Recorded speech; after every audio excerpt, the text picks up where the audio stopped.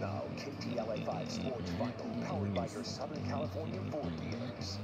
Uh, Lakers and Clippers always been a one-sided affair for so many years. Lakers dominated this series, but for the better part of the last decade, it's been all Clippers. Typically, it's been for bragging rights, but tonight some extra incentive. Both teams 41 and 38 fighting for their playoff